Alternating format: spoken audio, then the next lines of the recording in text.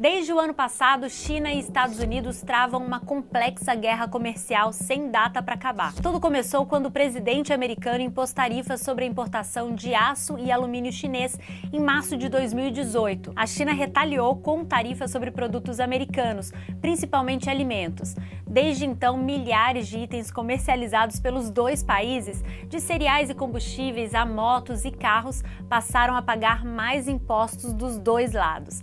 E mais recentemente, o presidente Donald Trump decidiu barrar empresas americanas de comercializarem com a Huawei, que é a maior empresa chinesa de tecnologia de celulares, competidora direta da Apple e da Samsung. Para cumprir com a ordem do governo Trump, o Google baniu suporte técnico, serviços e aplicativos nos novos aparelhos da Huawei. Empresas americanas que operam na China já aguardam a retaliação. Bom, como essa disputa envolve as duas maiores economias do mundo, os efeitos recaem sobre todos os países e podem atingir em cheio o Brasil também. Mas o impacto não é só negativo, não. Tem país lucrando com isso no curto prazo e o nosso é um deles. Eu sou Natália Passarinho, repórter da BBC News Brasil aqui em Londres e hoje eu vou detalhar duas oportunidades e dois riscos que a guerra comercial traz para o Brasil. No final do vídeo eu vou falar sobre como o nosso país se posiciona nessa queda de braço entre as duas potências mundiais. Primeira oportunidade, exportação de alimentos alimentos para a China. Produtos agrícolas americanos foram os mais afetados pela alta nas tarifas impostas pelo governo chinês, principalmente soja, amêndoas, maçãs, laranjas e carnes. Para substituir essas commodities que ficaram mais caras,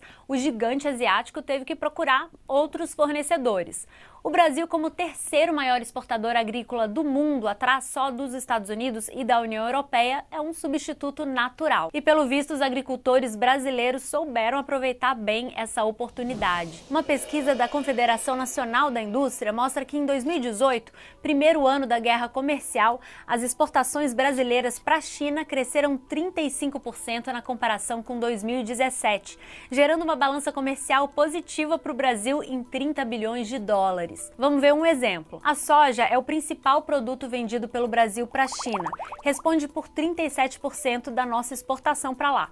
No ano passado, a gente vendeu 7 bilhões a mais em soja para os chineses, um crescimento de 34%. Agora, outros setores também aumentaram as vendas, principalmente de carne bovina, algodão e carne suína. Olha o que o gerente de negócios internacionais da CNI diz sobre isso.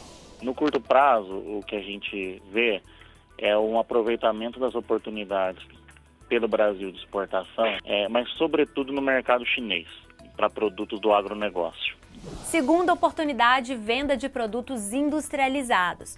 O Brasil tem diminuído nos últimos anos a exportação de itens manufaturados, ou seja, que tem alguma tecnologia envolvida, como automóveis, aviões, autopeças e máquinas e equipamentos.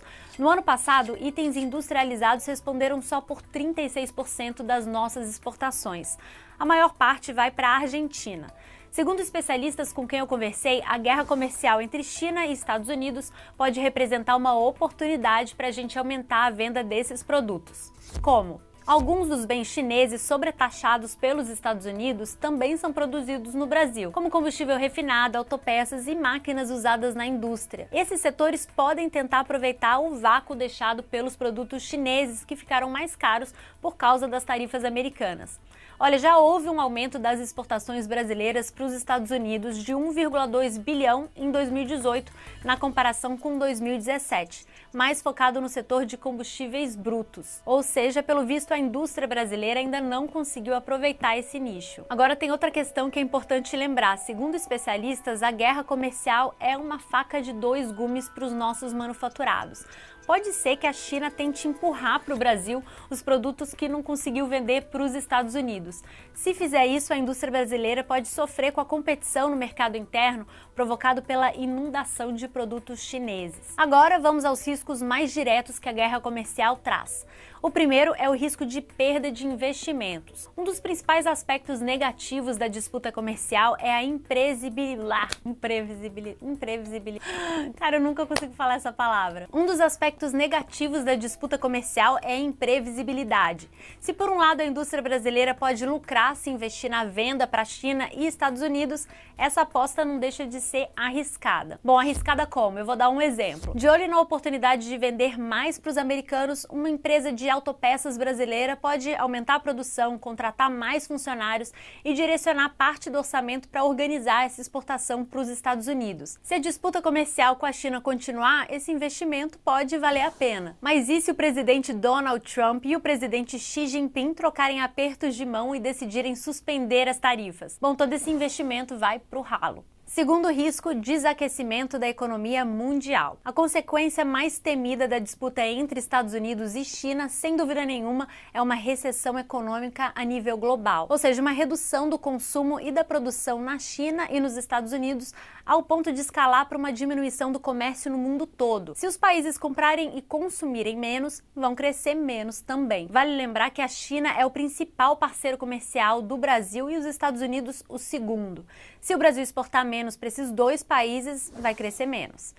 A principal preocupação para o Brasil são as consequências de um mundo que está crescendo menos, dado um acirramento de disputa e guerra comercial entre as duas maiores potências econômicas do mundo. Né? E o FMI já alertou pelo fato que, que o crescimento econômico global sofre com essa escalada de tarifas. Né? E se nós tivermos um acirramento é, dessa disputa comercial, e, e começa a impactar o crescimento econômico global, evidentemente o Brasil sofre, né? É, até porque o Brasil está num, num, período de uma recuperação econômica tênue, que está demorando mais do que as pessoas imaginaram, é, com um ajuste fiscal a ser feito. Por fim, vamos falar de como o Brasil deve se posicionar nesse xadrez. Como eu disse, o comércio tanto com os Estados Unidos quanto com a China é crucial para o Brasil.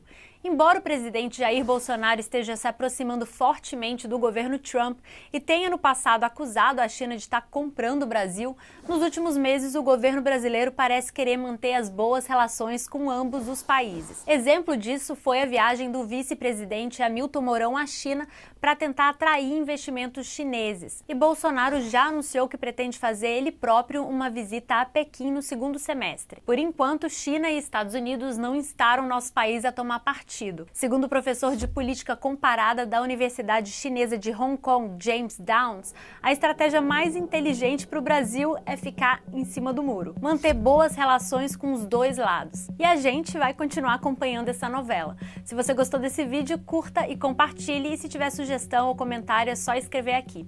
Até a próxima!